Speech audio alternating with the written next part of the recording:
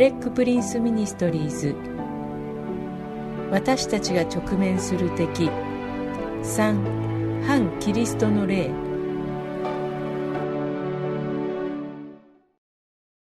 私たちが直面する敵。反キリストの霊。これは私たちが直面する敵。シリーズの第3回です。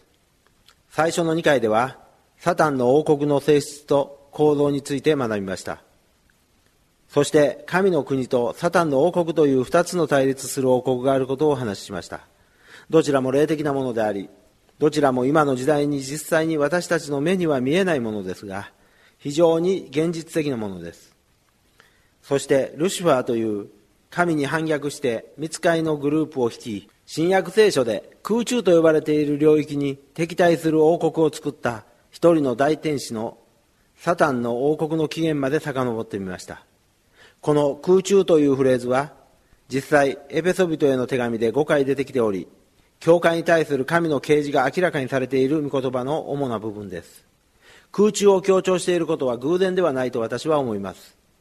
イエス・キリストの教会は空中に確立されたもう一つの王国に対立して空中で働いていると考えられています。混乱している人のためにお話ししますが聖書の最初の説から天という単語は複数形なのです。一つ以上の天があり私たちの住む地球と神のおられる天の御里の間に神に敵対するサタンの王国があります。そして第2回では、サタンの王国の主な活動の一つであり、その力が表される主な方法の一つが魔術であることをお話ししました。多くの人々は魔術はすでに消え去った、何か中世の時代のような古臭いものと考えているかもしれませんが、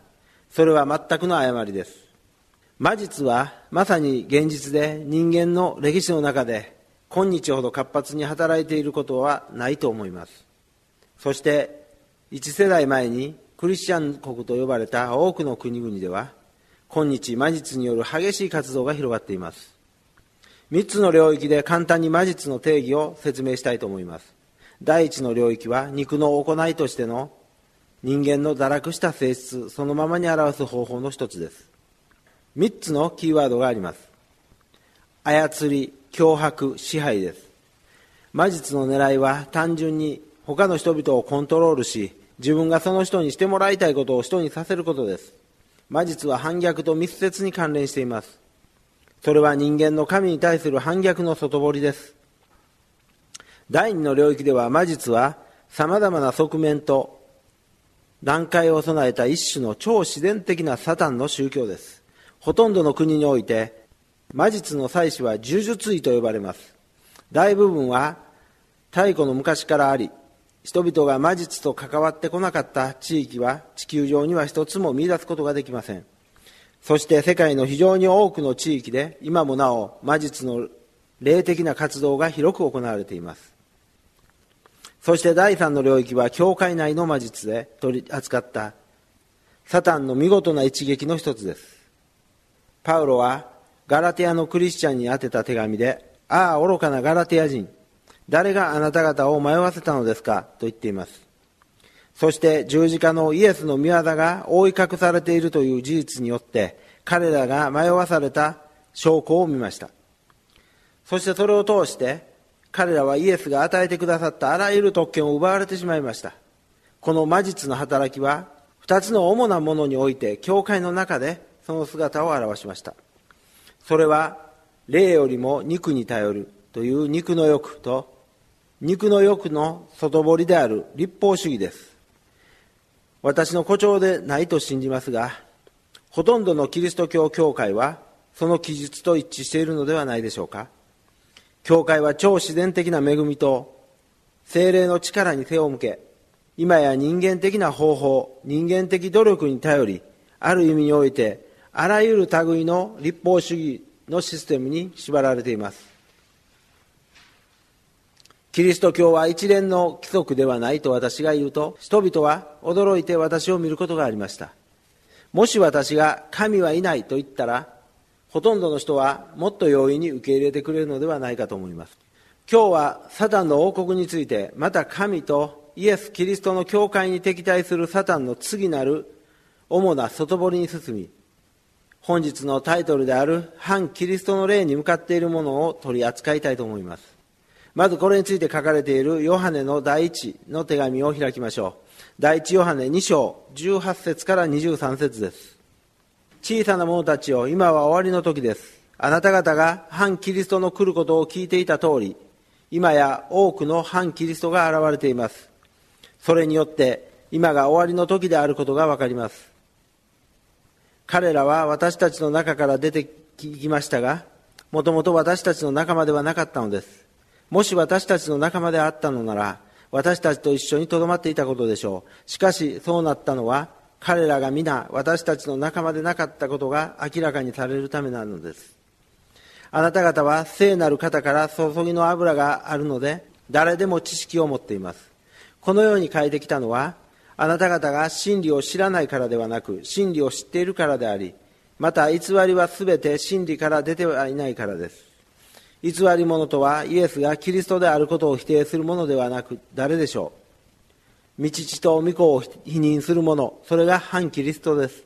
誰でも御子を否認する者は道父を持たず、御子を告白する者は道父を持っているのです。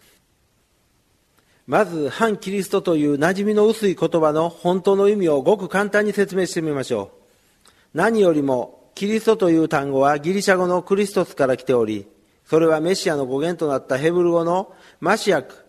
と完全に一致しているということを心に留めておく必要があります。あまりにも多くのユダヤ人とクリスチャンがメシアとキリストが同じものを表す二つの異なる単語であることを理解していないのは驚きです。ですから、私たちが反キリストというとき、それは反メシアという意味です。私たちがメシアという言い方を用いるなら、おそらく理解しやすくなるでしょう。そして、前置詞の反、アンティは、ギリシャ語の前置詞です。それには二つの意味があります。そのどちらも当てはまります。一つ目は反対するという意味。ですから、最初の作用はメシアへの反対です。二つ目の意味は何々の代わりにです。つまり、最終的な目的は、真のメシアの代わりに、偽のメシアを置くことです。この力はまずメシアを排除し、次にメシアの代わりに、偽メシアを置くというふうに作用します。ですから完全な作用が2つの段階であることを理解し始めるとき、あなたは反キリストの霊が教会と公言しているほぼ全ての中において激しく活動していることがわかると思います。妻と私にはアメリカで伝統的福音派の流れを組む教会に行っている友人たちがいます。その教団名を言うつもりはありませんが、ある日彼らは私に言いました。私たちの教会では、ブッダについて話しても構わないし、ソクラテスやプラトン、キング牧師について語っても誰も腹を立てないけど、イエスのことを話すとみんな怒り出すんだ。それは何でしょうか？反キリストの例です。真のメシアを取り除くという第一段階です。しかし私たちは皆それがサタンの最終目的ではないことを心に留めておかなくてはなりません。サタンの目的は真のメシアの代わりに偽メシアを置くことです。それこそ私たちが取り扱うものです。それを理解し始めるとき、サタンの特定の働きはイエスが説教されるところでのみ適用できるということが明らかになります。イエスについて全く聞いたことがないのなら、イエスを拒絶することはできません。ですから、魔術はそうではなく、魔術は堕落した全人類に関わるものです。事実、私がお話ししたように、それは様々な形式や式典を伴う堕落した民の至るところに見られる宗教です。しかし、反キリストは、まずキリストについて語られたところでのみ現れるのです。イエスの交渉外の初めに荒野での誘惑において通常の翻訳ではイエスは引き下がれサタンと言ったとマタイの福音書に記録されていますしかしそれをできるだけ完全な翻訳にすると私の後に従えですそしてそれはイエスと福音が宣言されるどこにおいても従わないという選択を神が許可するという霊的本質であると信じます事実人間は真のメシアと偽のメシアのどちらかを選択しなければなりません。それは私たちを取り扱う神の方法の一部分であり、神は間違った選択を排除せず、正しい選択をすることは私たちの責任なのです。これは私たちの世代に非常に関連していると思います。この世代は真のメシアか、偽のメシアのどちらかを選ぶ決断をしなければなりません。反キリストの例は皆さんが考える以上に非常に活発で間違った決断へと私たちに圧力をかけています。ヨハネの手紙第一の2章を読みましたが、同じくヨハネの手紙第一4章、2節3節を見ましょう。人となってきたイエス・キリストを告白する霊は皆、神からのものです。それによって神からの霊を知りなさい。イエスを告白しない霊はどれ一つとして神から出たものではありません。それは反キリストの霊です。あなた方はそれが来ることを聞いていたのですが、今それが世に来ているのです。先ほどの2章の部分と4章の部分と合わせてみると、反キリストの3つの形が見えてきます。第一に、多くの反キリストがおり、人類の歴史の中、実に多くの反キリストが現れ、また明らかにされてきました。第二に、多くではなく、ただ一人の特定の反キリストがいます。それは反キリストの霊の最後の出現、最後に生み出されるもので、私が知る限り人類の歴史にはまだ現れていません。私はよく人々に、反キリストの影はすでに舞台の向こう側に落ちたと信じますが、私たちはまだその実在の人物を見ていません。と語ります。しかしこの時代の終わりにあって聖書がはっきりと言っているように一人の最終的な最高に邪悪な最高に力強い支配者が短い期間全人類を支配する。反キリストが現れるでしょう第3に反キリストの霊の形です反キリストの霊は全ての反キリスト者を通して働きますヨハネが言っている反キリストの霊の特定の印は非常に重要です。まず、神の民の仲間として始まると、第一ヨハネ2章19節で言っています。彼らは私たちの中から出て行きましたが、もともと私たちの仲間ではなかったのです。もし私たちの仲間であったのなら、私たちと一緒に留まっていたことでしょう。しかし、そうなったのは、彼らが皆私たちの仲間でなかったことが明らかにされるためなのです。ですから、反キリストは常に何らかの形で神の民の仲間として始まります。しかし、本当に神の民に属しているのではなく、やがて明らかにされるのです。それが反キリストの例の一つの印です。次にメシアであることを否定します。第一ヨハネ2章22節偽り者とはイエスがキリストであることを否定するものではなくて誰でしょうそしてイエスは三つ目の反キリストの印を語ります。道父と御子を否認する者、それが反キリストです。これは非常に重要です。反キリストは神の存在を否定しません。実は神の代表となると主張します。反キリストが否定するのは神格を持った父と御子の関係です。そしてその否定に遭遇するところでは、おそらく反キリストの霊に直面するでしょう。そして第一ヨハネ4章で与えられている反キリストの印は、メシアがすでに来たことを否定します。おそらくメシアがやがて来ると信じてはいますが、すでに来られることは否定します。その4つの印は非常に重要ですので、おさらいしましょう。第一に、反キリストは神の民と仲間になることから始まる。第二に、反キリストはイエスがメシアであることを否定する。異教徒はイエスのことすら聞いたことがないので、異教徒ではありえないことは明らかです。第三に、反キリストは神格である父と御子の関係を否定する。必ずしも神を否定するわけではありませんが、父と御子として掲示される神を否定します。第4に、反キリストはメシアがすでに来られたことを否定しますが、メシアがやがて来るということをはっきりと教えるでしょう。では、歴史的な例を取り上げてみましょう。今から私が言うことは、いくらか議論の的であることを認めざるを得ません。真理に関する問題は、議論の的となりやすいものです。私は誰に対しても不快感を与えたくはありませんし、他の宗教を攻撃したいとも全く思いません。私は真理を示したいだけです。しかし、最初であり、最も長期間継続している反キリストの例はユダヤ教です私たちはこれまでキリスト教はユダヤ教から枝分かれしたものだと考えてきましたがそれは基本的にユダヤ人が語ることです私はユダヤ人ではありませんが妻はユダヤ人で私たちはユダヤ人ととても親しくしています。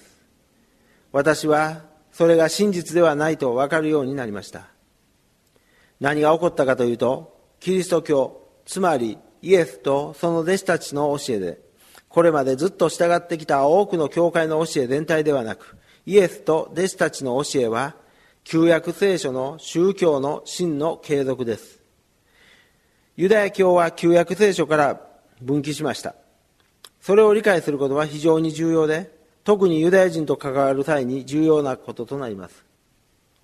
それが最初の印です。神の民との関わりから始まります。私はユダヤ教の専門家ではありませんがユダヤ教の教えを分析すると多くがイエスを信じることへの無意識的な拒絶です。教えられていることの多くはイエスの主張を否定する方法です。ユダヤ教における反キリストの第二の印はもちろん非常に単純です。イエスはメシアであるがやがて来られるメシアであることを信じています。第三に神格である父と御子の関係を否定します。神の子であるというイエスの主張を拒絶し神に子がいることは認めません。そして第四にすでに言ったようにメシアがすでに来られたことを否定します。興味深いことに1988年エルサレムの町のすべての大通りに立派なポスターがヘブル語で貼り出されメシアが来られた。もしメシアに会いたいならいついつの日曜日にオリーブ山に行けばそこで会えますというものでした。美しいポスターでした。誰がそれを印刷したのか全く分かりません。何が起こっているのかを見るために一人のジャーナリストがそこへ行きました。がメシアを見つけることはできませんでした。しかしそれはこの問題がどれほど現実化を表しています。もし思いやりを持ってメシアという言葉を使ってユダヤ人と話すなら彼らの目の色が変わるでしょう。なぜならユダヤ人にとってメシアという言葉は特別な重要性を持っているからです。あなたが私の考えに同意しなくても全然構いませんが一つの提案をしたいと思います。マタイ27章の一つの説を見てみましょう。この説は反キリストの最初の現実的な力強い現れであると思います。マタイ27章21節です。イエスは総督ピラトの前に連れて行かれました。ピラトはイエスに何の過ちも見出せませんでしたが、ユダヤの宗教指導者たちはイエスを訴え続け、イエスに反対するようにユダヤ人の全回収を先導しました。そして忘れてならないことは、その群衆の全員が、つい一週間前にはエルサレムに入られるイエスを、城の枝を振って、祝福あれ、主の皆によって来られる方に、と歓迎した同じ群衆でした。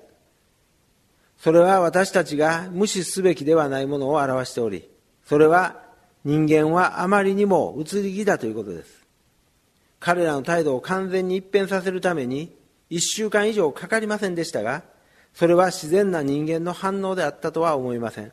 私が思うに見えない領域でものすごい霊的戦いがあり残念なことに反キリストの霊が勝ってしまいました。そしてこれが起こったことです。総督ピラトがイエスを連れ出しこう言いました。その祭りにはいつも一人の囚人を一人だけ赦免するのが習わしです。あなたが誰を釈放してほしいのかバラバかそれともイエスか。バラバは政治的先導者であり、殺人犯、暴力的な男でした。バラバは一つとして良いことをしたことがなく、一方イエスは誰にも危害を与えたことがありませんでした。イエスは何千人も癒し、祝福し、食べ物を与えました。イエスに敵対する論理的理由は一つとしてありませんでした。それは論理ではなく、霊的力が働いていたのでした。そしてこのマタイ27章21節は鍵となる説であると思います。しかし、総督は彼らに答えていった。あなた方は二人のうちどちらを釈放してほしいのか。私の意見は、イスラエルは人類に起こることの一種の反対の方です。なぜなら人類は最終的に二つのどちらかということの選択に直面すると信じます。救い主、癒し主、義なる方イエスを望むのか、それとも邪悪で暴力的だ、政治的先導者バラバを望むのか。ある意味においてバラバは反キリストです。そして彼らが選んだのはバラバでした。私たちは彼らを指さすことはできません。その時が来た時、同じ間違いをしないように私たちは気をつけましょう。群衆に急速に働いて一変させる霊的な力がありました。そして彼らは原因の全くない怒りと嫉妬にほとんど発狂したようになりました。私は個人的にそれが反キリストの霊が初めて人類に影響を与えた時であると信じます。それはある意味でその時から現在までユダヤ人を支配しようとしてきたものです。イエスは彼らに警告しました。ヨハネ5章43節を見ると、彼らはこの時点でメシア、神の御子であるとの主張に異議を唱えていました。私は私の父の名によって来ましたが、あなた方は私を受け入れません。他の人がその人自身の名に置いてくれば、あなた方はその人を受け入れるのです。さて、それは紛れもない事実であると証明されました。言い換えれば、私は真のメシアですが、あなたは私を受け入れません。偽のメシアがその人の名で来れば、あなたはその人を受け入れるのです。となります。そして、ユダヤの百科事典は、およそ40人の偽メシアが、それ以降現れ、ユダヤ人によって受け入れられたと記録しています。その偽メシアの名前をいくつか挙げると、最も有名なのは、138年にローマに対して反乱軍を率いたバル国馬であると思います。そして5世紀頃にはクレタ島のモーセという人が人々にクレタ島から海の中に入って歩くとメシアに会うと説き伏せ何千人もが海に入り溺れました。そして奇跡的な年となるはずであった1666年、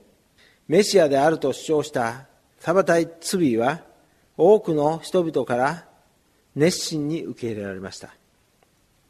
ユダヤ教の間違った教えの一つです。すべてのユダヤ主義がそうであるとは言いませんが、教えの中に神殿を取り戻してくださる方がメシアであると教えます。神殿の区域はすべてのユダヤ人の聖地で、ムスリムのモスクによって今も支配され、ユダヤ人は実際には全地域を政治的に支配しているにもかかわらず、そこへ行くことすら許されていません。私は個人的にもし一人の政治家が現れ、中東で何らかの介入をすることができ、ユダヤ人のためにその場所にユダヤ人の神殿を建てる権利を得るなら、ユダヤ人は熱狂的にその人物をメシアとして歓迎すると思います。そしてその人物は全世界のユダヤ人の全コミュニティにアピールするでしょう。そして私はそれがあまり遠くない未来ではないかと思うのです。では、反キリストのもう一つの主な現れを見ていきましょう。これはクリスチャンとしてこの時代について知っておくべき非常に非常に重要なものです。それはムハンマドの宗教として知られるイスラム教です。イスラムとは完成、完全性、成就という意味です。ムハンマドは7世紀にアラビア半島で現れ、預言者であると宣言し、洞窟で大天使から後にイスラムとなる宗教の啓示を受けたと主張しました。そしてムハンマドはその自分の宗教、イスラム教は旧約聖書と新約聖書の真の成就であると主張しました。彼はクリスチャンと福音は本当の真理を歪めたが、イスラム教を通して自分はそれを回復していると主張しました。それがムハンマドの基本的主張です。そして彼は偶像礼拝を拒絶し、またキリスト教の主張を拒絶したので、ユダヤ人は自分に従うであろうと考えたのです。しかし彼は失望することになります。そしてユダヤ人が従わないため、彼はユダヤ人に背を向け、ユダヤ人の迫害者となりました。イスラム教の教えを見てみましょう。これは私個人の意見ですが、現在イスラム教は世界に働く神の真理に敵対する最も邪悪で力強い力だと思います。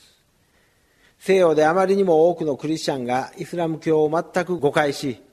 過小評価してきたことは悲劇的です。一旦イスラム教が力を持てば、まずユダヤ人を抑圧し、次にクリスチャンを抑圧するでしょう。何世紀にもわたり、ムスリム国において、クリスチャンとユダヤ教徒は二流階級の人々という意味のディミーという肩書きが与えられました。周りにユダヤ教徒やクリスチャンを有するよりむしろ彼らを低く癒しく状態に保つ方がイスラムがより優れていると誰の目にも明らかにさせ好都合なのです。妻と私は1985年にパキスタンで福音を述べ伝えていました。私たちに最初にしたことの一つは首都のカラチでクリスチャンのコミュニティを訪問するために連れて行かれたことです。私はその不潔と貧困劣悪な状況を見た時自分が病気にかかったようなひどい感覚を今も覚えています。通りにはむき出しの下水道がありトイレは外でした。そしてこれがパキスタンの人々に示されるキリスト教の姿でした。それがイスラム教徒に好都合だったのです。イスラム教徒は彼らを完全に排除したかったのではなくただクリスチャンの上にムスリムの完全な優越性を示したかったのです。例えばムスリムは決してトイレを掃除しません。ですからパキスタンの掃除婦は全てキリスト教徒です。それが基本的にパキスタン人のキリスト教への見方です。これはイスラムの国々においてユダヤ教徒とクリスチャンがどのように完全に抑圧され下級の少数派とされているかという数えきれない例の一つに過ぎません。クリスチャンの誓いはイスラム教の裁判所では受け入れられません。ムスリムに対するクリスチャンの証言は受け入れられないのです。イスラム教がホロコーストのように恐ろしい罪を犯してこなかったのは本当ですが13世紀間もの長期にわたるクリスチャンに対する抑圧と蔑みがあります。彼らがクリスチャンを完全に蔑んで見ていることを理解していない人にとっては難しいことです。憐れみや許しのようなクリスチャンの恵みと伝統は素晴らしいものとみなされますが、ムスリムにとってそれは単なる弱点に過ぎません。現在の中東情勢は、西洋の政治家たちはたとえクリスチャンでなくても、クリスチャンの視点を持っています。彼らにはその背景があり、憐れみ、平和、許しについて語ります。ムスリムにとってそれはナンセンスなのです。ムスリムの考え方では、復讐は神聖な義務です。私はただ必ずしも明らかになっていない。全く異なる例があることを明らかにしたいのです。私が指摘したようにほとんどのイスラムは印を持っています。それは旧約聖書と新約聖書のつながりで始まりました。神の啓示からのものであると主張しました。しかしそれはクリスチャン信仰の特定の基本原則を否定します。十字架のイエスの贖いの死を否定します。ムハンマドはイエスは死ななかったのだと教えました。一人の見つかりが来てイエスが死ぬ前に十字架から密かに連れ去ったと。死ななかったので贖いはなく贖いがないので許しもないのだと。そしてムスリムはいかなる時も誰一人罪の許しの保証がないのです。次に彼らはイエスが神の御子であることを狂信的な激しさで否定します。あなたは預言者としてのイエスについてムスリムと語ることができますが、彼らはあなたに慎重に注意を払います。事実、コーランは預言者として、福音主としてさえ、またメシアとしてのイエスを認めています。しかし、あなたがイエスは神の子であるというとき、激しく憤慨し、反対をあらわにします。かつて、ソロモンの神殿があった場所に建てられた岩のドームと呼ばれる有名なモスクの周りには、アラビア語で神には子が必要ないと2回刻まれています。これに統合するまであなたはこの対立の激しさについて全く見当もつきません。そしてお話ししたように、イスラムは神格の父と巫女の関係を否定します。興味深いことに、ユダヤ教とイスラム教の2つの宗教がどちらも中東で起こりました。イスラエルツアーに行くと、ガイドはおそらく中東はユダヤ教、キリスト教イスラム教という三大宗教の起源であるというでしょう。私の推測ですがあなたに少し考えていただきたいことは反キリストの例はイエスを排除することにおいてキリスト教会の中で成功するでしょう。私たちは最終的にイエスなしのキリスト教を持つのです。道徳制度立法制度あらゆる種類の美しさに満ちた宗教となるでしょうがイエスなしです。そして一旦イエスを排除すればユダヤ教、キリスト教、イスラム教の統合への道を開くことになります。私は個人的にこう考えるようになりました。反キリストはそのようなユダヤ教イスラム教廃教のキリスト教を結びつけた宗教に向かうでしょう。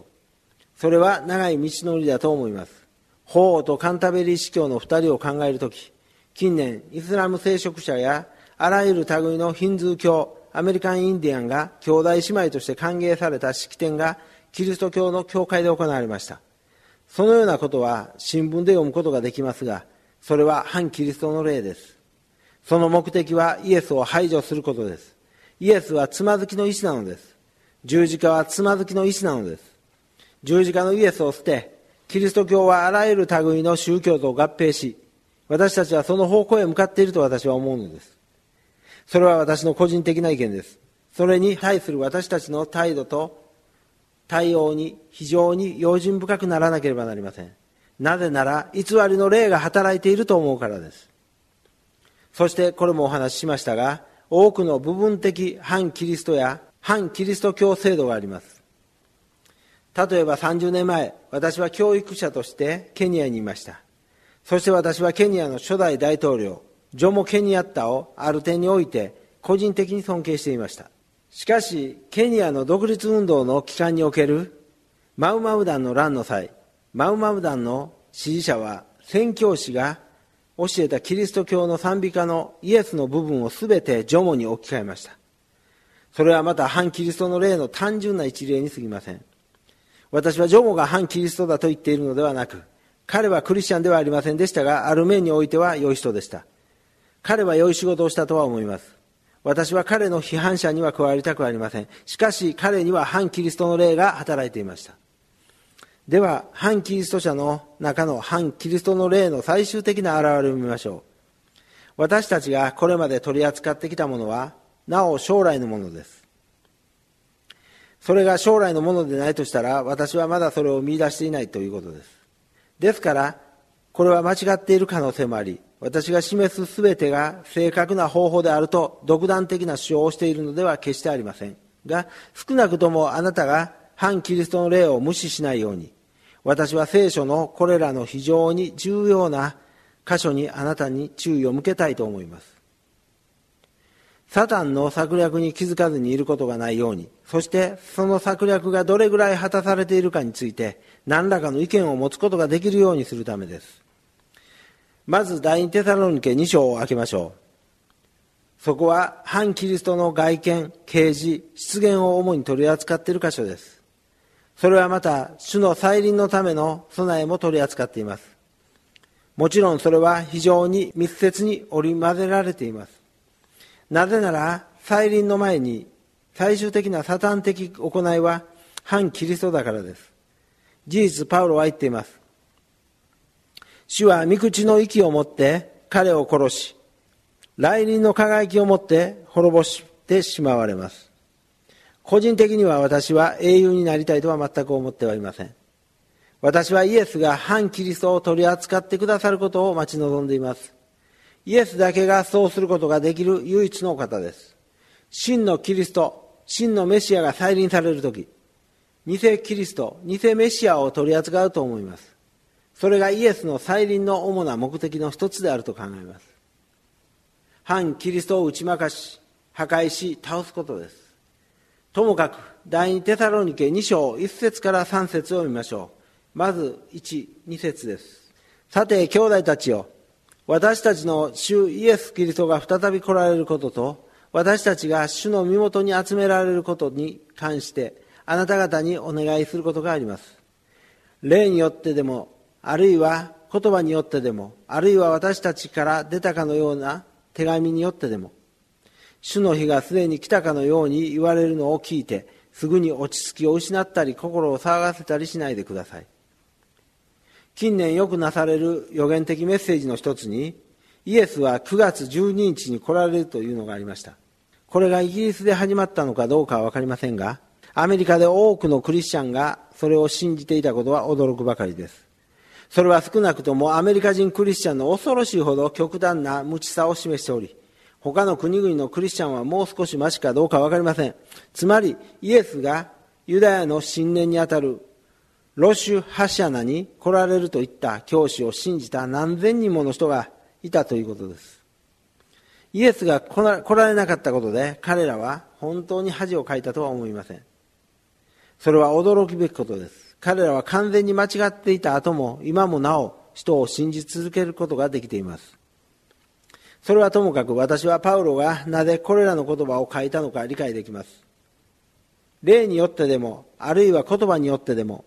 すぐに落ち着きを失ったり、心を騒がせたりしないでください。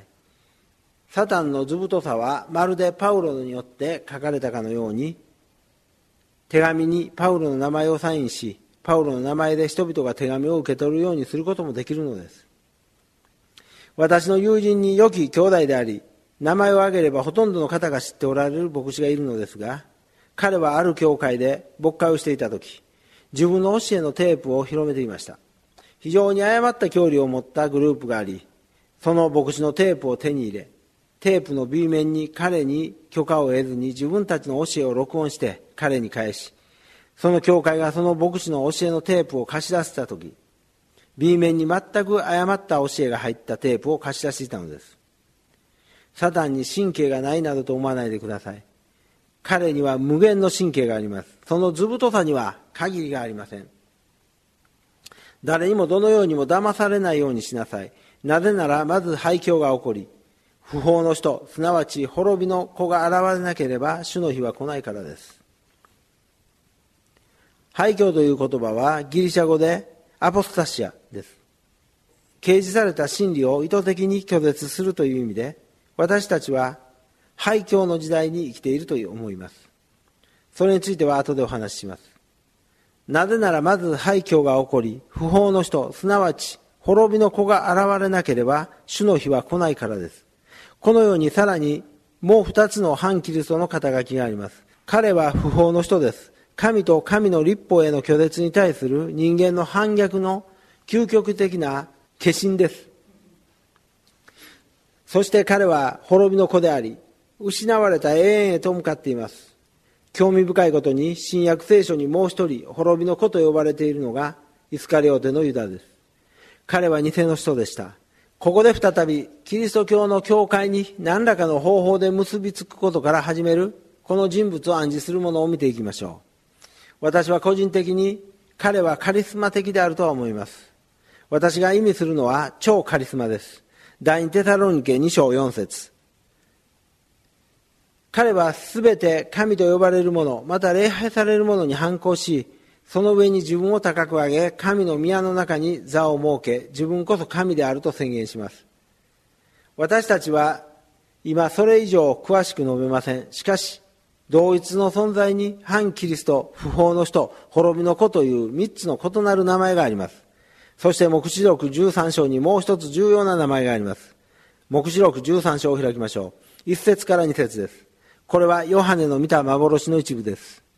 また私は見た、海から一匹の獣が上がってきて、これには十本の角と七つの頭があった。その角には十の冠があり、その頭には髪を汚す名があった。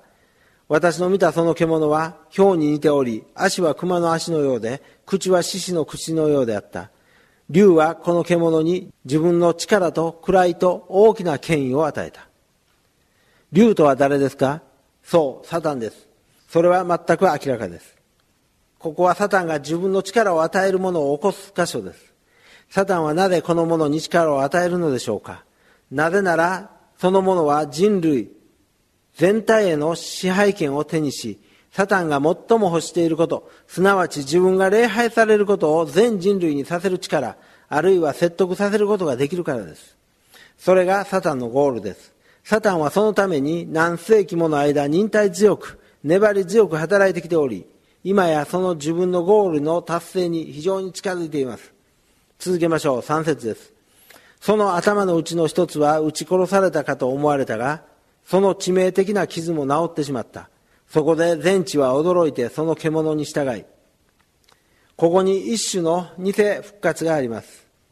この者が暗殺されるのかどうかわかりません。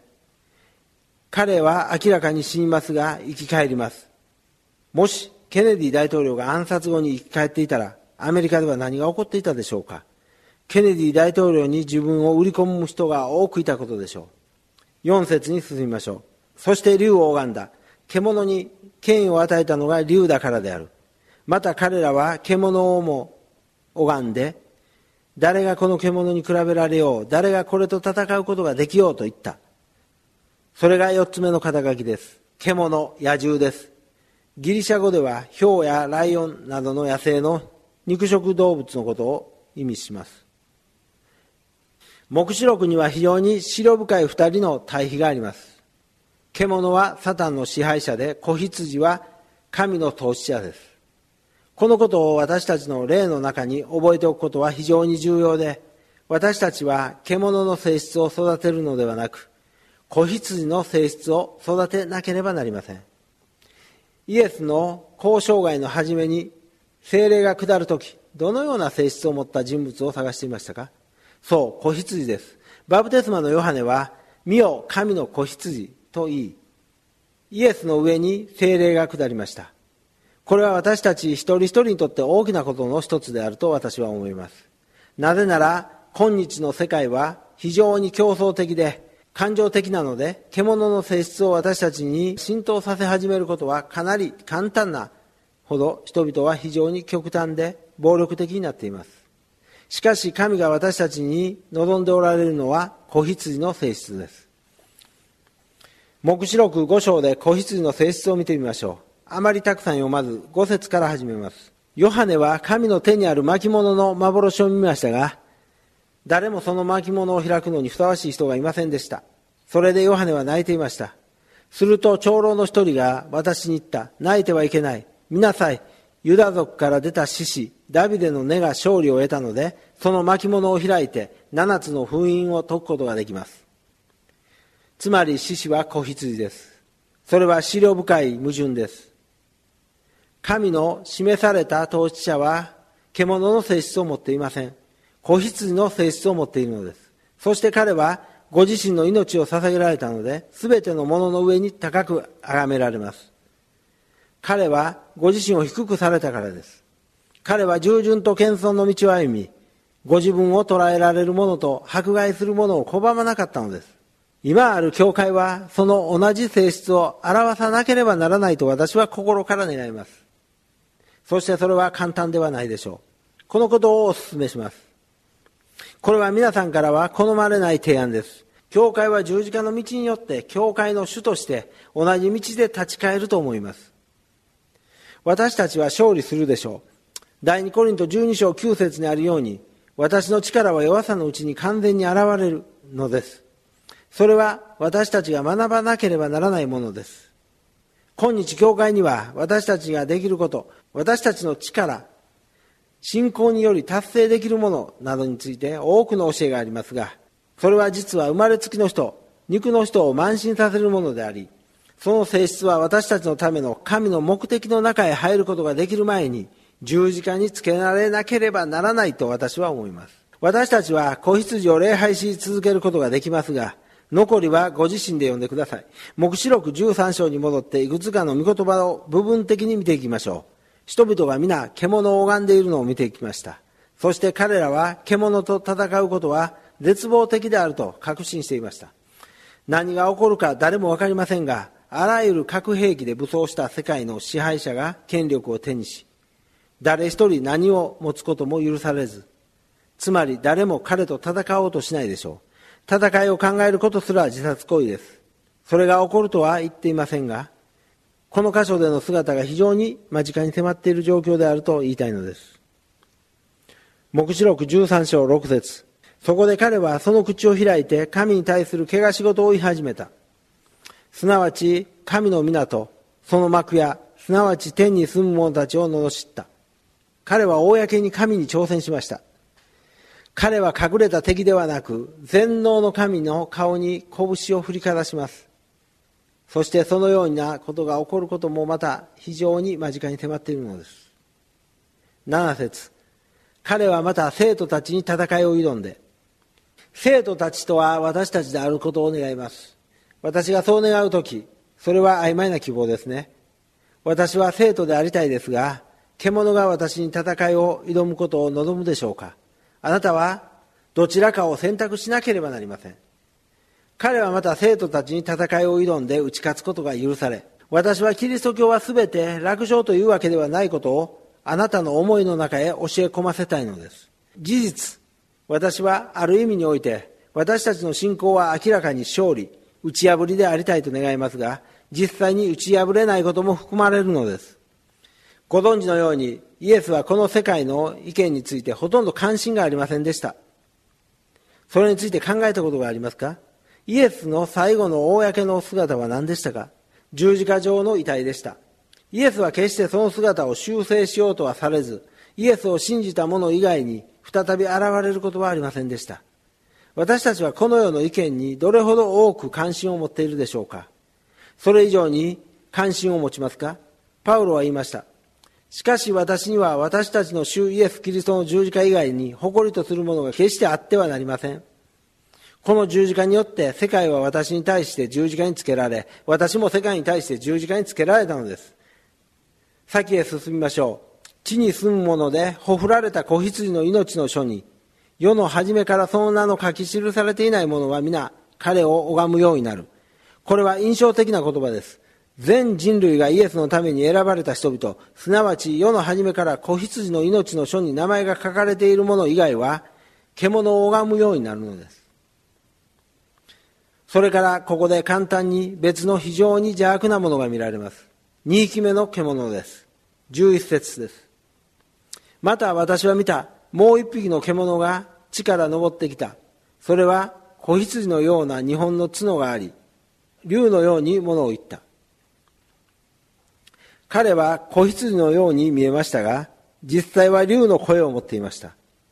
これは宗教的人物であると思います。一般論として、彼は偽預言者と呼ばれています。そしてその偽宗教は偽メシアと手を組むと私は思います。そしてこれはすでに起こっていることをあなたにお伝えしたいのです。例えば中国では現時点でディーン主教のもとに三次愛運動が無神論の共産主義と完全に結びつき、真のクリスチャンの主な迫害者となっています。そしてかなり同様のことがロシアでも起こったと思います。ロシア正教会の上層部はスターリンを完全に支持し、現在それについて何と言うべきかという厄介な時代になっています。このような政治的な統治者が宗教の重要性を評価し、自分の力を支持する虚偽的な形式で宗教を取り込むであろうと私は考えます。12節この獣は最初の獣が持っているすべての権威をその獣の前で働かせた。また、地と地に住む人々に致命的な傷の治った最初の獣を拝ませた。これ以上詳しくお話しする時間はありませんが、偽の三位一体に注目してください。中世の時代の古代教会はラテン語を使い、デアボロス・シニオス・ディ、悪魔は神のモノマネであると言っていました。彼は決して全く新しいものを思いつくことはありません。彼ができることは神がすでになされたことの粗悪なコピーを作ることです。ですから偽の三位一体があるのです。お分かりですか？サタン、獣、偽預言者です。そしてある意味間違った教会のイメージを作り上げるのです。締めくくりとして第二テサロニケ2章に戻りましょう。その鍵となる説に戻ります。第二テサロニケ2章3節です。誰にもどのようにも騙されないようにしなさい。なぜなら、まず廃墟が起こり、不法の人、すなわち滅びの子が現れなければ、主の日は来ないからです。お話ししたように、廃墟は、掲示された真理を意図的に拒絶するという意味です。今日私たちは世界で廃墟に囲まれていると思います。何世紀にもわたって邪悪で不道徳、貪欲なクリスチャンや教会の指導者たちがいましたが、彼らはクリスチャンの偉大な基本的真理を公に否定してきませんでした。事実、それらの真理は、彼ら自身の力を支えるために用いられた手段となりました。しかし現在、おそらくドイツにはイエスの神聖、書道降誕、贖いの死、肉体を持った復活、そして再臨というキリスト教信仰の偉大な基本的真理を否定してきた教会のリーダーたち、教会の公式代表者たちがいます。彼らの多くはキリスト教会で栄誉と権威の地位を占めています。イギリスでは皆さんも知っての通り、聖公会の司教の3分の2が、もともとイギリスの一つの町の司教によって作られた、その声明に基本的に合意しています。私は誰かを攻撃しているのではなく、単純にこれまで存在してこなかったであろうものが、今世紀の特徴であると指摘しているのです。私はすでに私たちが廃墟に直面していると思います。そして教会は誤りに対する防波堤です。ですからサタンは手違いで正体がバレる前に教会に侵入する必要があるのです。